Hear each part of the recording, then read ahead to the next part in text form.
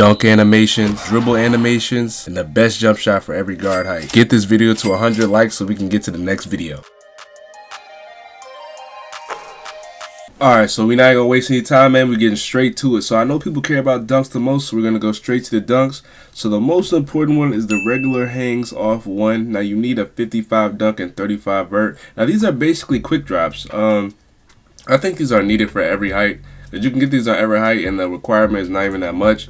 So I feel like you definitely need these dunks. Now you also need athletic hangs off one, which is 65 dunk and 45 vert. Now these two dunks together are definitely perfect. Like these are one of those dunks like when the paint is wide open, you just take it. You know what I'm saying? You just take a wide open dunk. It's free. You know what I'm saying? You'll never get blocked on these. It's not a back scratcher.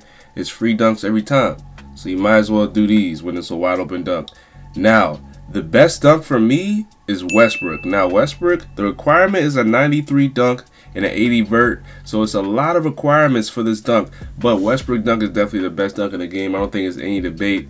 If you want to have a really good dunk, to have Westbrook. Now that's the one dunk that's an NBA player that I have on my small guard. But for my six-six guard, I have LeBron dunk. Now LeBron dunk is the best dunk in the game, but you have to be six-five plus. So LeBron dunk, um, you need 84 dunk and 64 vertical for it. And I'm telling you, if you have a six-five and up guard, it's it's it's needed. You know what I'm saying? LeBron is definitely the best dunk in the game, and you will see later if you don't see it now. You know what I'm saying? Now trust me, put on LeBron dunk. Now all the contact dunks that you need, you need for the ones that I have, I have 94 dunk and 82 vert. But if you want every single contact dunk in the game, you need 94 dunk, 85 vert. And the 85 vert gets you those small contact dunks. Now the small contact dunks are definitely like more like you can get them a lot more, but 82 vert gets you every contact dunk other than that, and I dunk on everybody. You know what I'm saying? Now, if you want to know the build, I posted that build video like a couple days ago, so go into that. But let's keep going. Now, we're going on to the SIGs. Now, for the 646, we have dribble style Kyrie Irving. Now, dribble style Kyrie Irving, you need it. You know what I'm saying? If you go on a small guard, it shouldn't be a question. You put on dribble style Kyrie Irving, don't ask why, just put it on. Now, six sides of Steve Francis. I've had on Steve Francis for about two years, and I really do like Steve Francis. Um, Steve Francis is just one of those drill moves that you have to have. And uh, I really have no explanation. You just should have on Steve Francis six sides up, bro. It's really no question. Now, regular breakdown combo De'Aaron Fox. I mean, you know what I'm saying? It's not really, you know what I mean? I don't use regular breakdown combos, to be honest. So I can't really go in depth on regular breakdown combos. Now, aggressive breakdown combo, Darius Garland, I do it a little bit for fun, you know what I'm saying? But it doesn't give me any guaranteed buckets. So it really doesn't matter what either breakdown combo you have. It's really just preference. It's not going to help you score at all, but be honest with you. So it's up to you. Now, escape moves, Kemba Walker. I love Kemba Walker. I used to use Trae Young. But Kemba Walker is better for me so I don't over dribble. When you're in prime, you really can't over dribble as much or you will get ripped. And it's really annoying. So I put on Kemba Walker escape move. Now combo move here. Combo moves De'Aaron Fox. My fault, fellas. Um, combo moves De'Aaron Fox. I, you know what? I barely use combo moves, but when I do, Kemba Walker is definitely cool. You know what I'm saying? If you don't want to use De'Aaron Fox and use Stephen Curry, you know what I'm saying? But it's really preference. Now, crossover Kobe Bryant. Now, that's the crossover that you see me doing when I go straight to the paint and dunk on people. And yes, that crossover is amazing. There shouldn't be any other crossover you use. So trust me when I say Kobe Bryant's the best crossover. Now, behind the back, Jamal Murray. I love Jamal Jamal Murray behind the back. Uh, at the start of the year, people use like LeBron and all these other behind the backs. Jamal Murray is definitely the best behind the back. I think everybody in this game literally used Jamal Murray behind the back. So you shouldn't even be trying to use anything else. Now spin Penny Hardaway. It doesn't matter what spin you have on. I barely do spins. The only time I do spins is in 1v1 court. And, uh, you know, it's pretty nice. So I guess you could just use Penny Hardaway because it's, it's low-key nice. It's not going to give you guaranteed buckets, but it's nice. Now, hesitation, Ja Morant. Hesitation, Ja Morant. I've noticed that when I do this certain move, that hesitation Ja Morant is really good. Uh, I put it in my dribble tutorial, and it's definitely the best uh, hesitation by far. And uh, step back John Wall. Now step back John Wall. I'm not gonna lie, bro.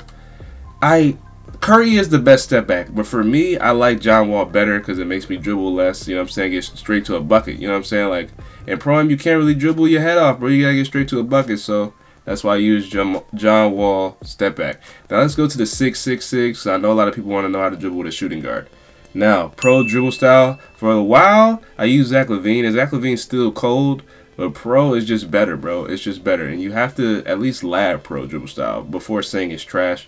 because that was me. I had to lab it as well, and now I really do like it. Now, signature size of De'Aaron Fox is definitely the best signature size up for a big guard, but I barely use it. You know what I'm saying? I just use uh, another thing that I'll talk about later. But De'Aaron Fox 6 size up is still pretty good. Now, regular breakdown combo De'Aaron Fox, like I've told y'all, I don't use regular breakdown combos, so it's preference, you know what I'm saying? But you can still use D Fox regular breakdown combo. Now, aggressive breakdown combo Paul George, I like it. You know what I'm saying? I like it. I use it once a month, but it's but when I use that thing once a month, I like it a lot. You know what I'm saying? Now, escape moves Kemba Walker. This move is what you must have on every big guard possible. Uh, if you can get Kemba Walker escape moves, you need to use it. There's so many moves you can do with Kemba Walker. It's actually insane. You know what I'm saying? I've made videos on it countless of times. So you just gotta tune in to find them. Now, combo moves De'Aaron Fox. It's not a guaranteed bucket, but it's preference. And I like De'Aaron Fox combo moves. You know what I'm saying? It's really not much to it. Uh, I like De'Aaron Fox combo moves. Uh, I couldn't get Curry, so I had to use De'Aaron Fox. Now, crossover Kobe Bryant, best crossover in the game. I told you on the 6'4". Guaranteed dunks. It's amazing. It's beautiful. I have nothing else to say. You know what I'm saying? Kobe Bryant crossover is what you need today. Now behind the back of Jamal Murray, when you're tall, when you're a tall guard like 6'5", 6'6", and you have Jamal Murray behind the back, it's honestly kind of unstoppable to guard. You know what I'm saying? Like it gives you so much space to shoot.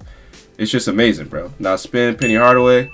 Like I said, spin in 1v1 court, that's about the only time I use it, to be honest with you. Now hesitation, Ja Morant. You need this for a certain move, like I said, with the 6-4 and in my dribble tutorial. Uh, it's called the BP slide. It's pretty clean. Uh, literally do it in this clip right here. You're going to see me go to the middle. Look, BP slide, you know, to a fade. That's what you need. Um, step back John Wall. Hey, you can't get Curry step back with tall guard, so you might as well go John Wall. Uh, I like John Wall really good. Uh, makes me dribble, get straight to a bucket. Like I told you before, we get straight to a bucket. That's what I love. Now let's go to the jump shots. Now for jump shots, I only have two jump shots for the small guards. Uh, a lot of people want me to tell y'all uh, what I use in UPA, and this is the jump shot right here. So for the small guards, you have to use Curry base. Now Curry base is pretty glitchy, man. You know what I'm saying? Like if I get Patty Mills, I will use Patty Mills, but I can't. So I have to use Curry. Now the first release is Dalano Banton. Dalano Banton is definitely clean. Um, I didn't even know about him until one of my teammates told me to use his jump shot in a release, and I'm like, you know what, I'll try it. You know what I'm saying? They said it makes your jump shot way faster. So I'm like, you know what, let me try it. You know what I'm saying? it definitely did make my jump shot way faster.